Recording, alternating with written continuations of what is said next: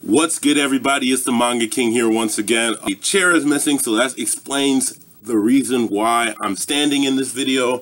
Um, I guess it's pretty cool because you get to see, you know, Luffy and all of them in the background, you know, staring over the horizon and junk. But yeah, I'm just here to do a quick update video about what I've been reading. I've been doing a lot of skateboarding and it's been pretty cool. Uh, the only reason why I haven't been as quick to upload is because I've been having some slight issues with my breathing and that probably explains as to why I'm not going to be as loud and excited in this video. Um, yeah, um, as far as manga goes, checked out a couple one-shots lately. I read the Damian one-shot by Naoki Urasawa, the one with the Yakuza, and Damian who has that weird ability where he just makes stuff happen.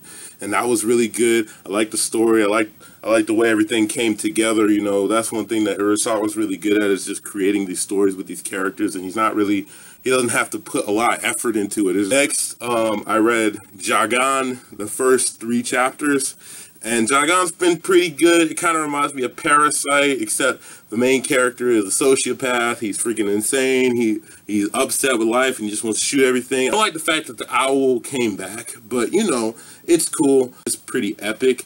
It just reminds me, and like I said, it once again, it reminds me a lot of Parasyte. Lastly, I read the one this one one shot that came out that nobody's apparently talking about, and I don't get why called Skyscrape Skyscrapers or Skyrakers. I don't know which one it is, but it's really, really good. It's about this dude who's basically like Robin Hood. He goes around and he steals stuff from rich people and gives it to the poor people, but he's like a parkour specialist. And there's police this police force where there's this female major and she's trying to catch him and it's kind of like this cat and mouse game and they're all in the slums and there's this interesting dynamic between these two characters and it would be pretty dope to get a new chapter of that. Now that's one one shot that nobody put any focus into and it's just been going off to the wayside. Now, as far as manga pickups, I haven't really picked up a whole lot of manga, but what I have picked up, I've been continuing my Hunter Hunter collections.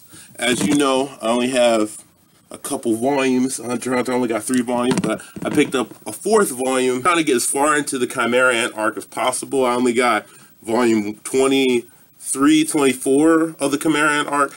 Here's volume 26. I skipped 25 because I remember what happened, you know, with Gon and stuff, and that was some of my favorite stuff in the series.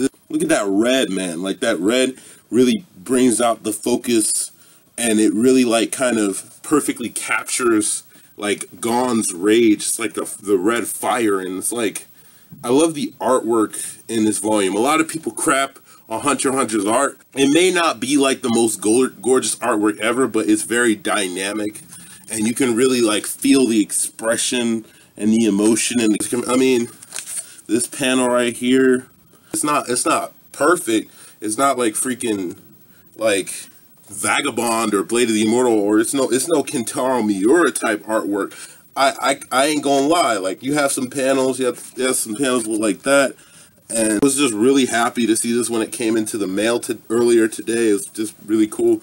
And um, yeah, for, without further ado, I finally call. I finally got the first volume of my second favorite series, second, second favorite manga series of all time, and that is Monster, the Perfect Edition by Naoki Urasawa. 20th Century Boys right here.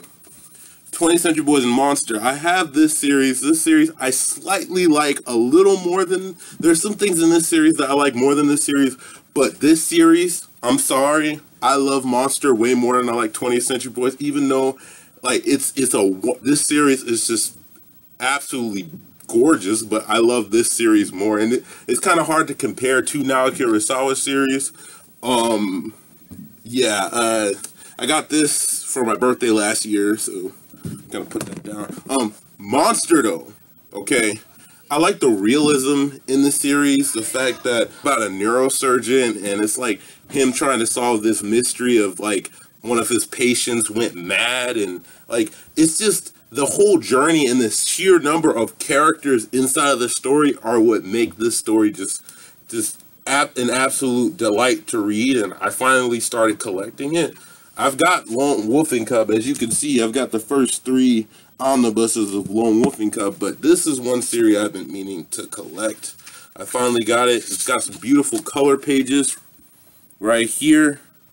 If you can see it, I don't know if you guys can see. It. I need a better camera, but you know, some it's just it's just perfect like Copic marker like the effects that Copic marker really has. Um but yeah that's pretty much it as far as updates but yeah that's all for now. You guys have an awesome day and peace out